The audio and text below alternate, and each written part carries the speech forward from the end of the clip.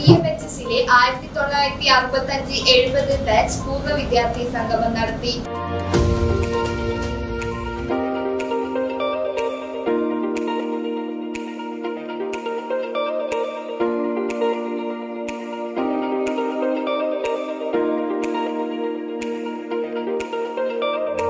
അപ്പോൾ തീർച്ചയായും ഇതിൽ ഏറ്റവും മുതിർന്ന ആളുകളാണ് നിങ്ങളെന്ന് പറയുന്നത്.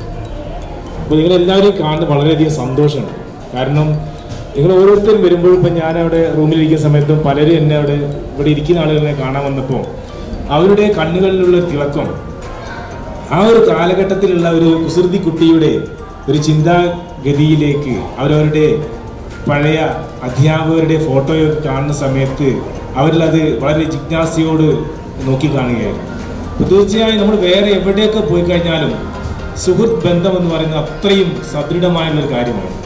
ഡോക്ടർ എം എൻ കാരശ്ശേരി പറഞ്ഞിരിക്കുന്ന ഒരു പ്രധാനപ്പെട്ട ഒരു കാര്യമുണ്ട്.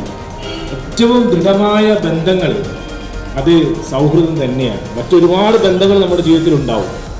പക്ഷെ ആ ബന്ധങ്ങളിലൊക്കെ ഉപരിയായിട്ട് ഏറ്റവും മികച്ച ബന്ധം എന്ന് ചോദിച്ചാൽ ഏതാന്ന് ചോദിച്ചാൽ സൗഹൃദം തന്നെയാണ് എന്നുള്ളതാണ് നമ്മൾ ഈ വൈകിയ വേളയിൽ നമുക്ക് തിരിച്ചറിയാൻ പറ്റും ആ ഒരു സൗഹൃദത്തിന്റെ പേരിലാണ് ഇത്രയും ആളുകൾ ഇവിടെ ഒത്തുചേർന്നിരിക്കുന്നത്. പരിചയപ്പെടുത്തലും ഓർമ്മകൾ പങ്കിടലും. ആദ്യമായിട്ട് ഒരു തുടങ്ങണ്ടേ? ആദ്യമായിട്ട് നമ്മുടെ വാസു പോലീസ് അയാളുടെ എന്റെ പേര് വാസു. ഞാൻ സ്വയം പരിചയപ്പെടുത്തലാണ്. അതുകൊണ്ടാണ് അദ്ദേഹം ഇങ്ങനെ പറഞ്ഞത്. വടകര മയ്യന്നൂരിൽ രണ്ടാം മെഡിസിനിലാണ് താമസിക്കുന്നത്. സ്കൂൾ ശേഷം കേരള പോലീസിൽ ജോലി കിട്ടി. ശേഷം ഇപ്പോൾ കോഴിക്കോട് കോഴിക്കോടുള്ള ബഹുമാൻപാട് ജില്ലാ പോലീസ് സൂപ്രണ്ട് സുഭാഷ് സാറിന്റെ പ്രൈവറ്റ് ഡിറ്റക്റ്റീവിൽ വർക്ക് ചെയ്തുകൊണ്ടിരിക്കുന്നു. എന്നെ പോലീസ് ആക്കിയാണ് ഇവിടെ തന്നെയുണ്ട്. ഈ അതായത് വത്സം മാഷാണ്. അദ്ദേഹമാണ് ഈ സ്കൂൾ ഞാൻ പഠിക്കുന്ന കാലത്ത് പോലീസ് നാടകത്തിൽ അഭിനയിച്ചത്.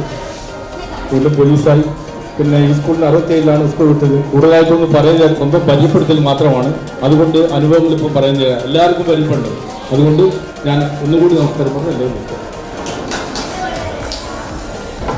ഈ സൗഹൃദ ബോധം നഷ്ടപ്പെട്ടു വരുന്ന ഈ വർത്തമാന കാലാന്തരീക്ഷത്തിൽ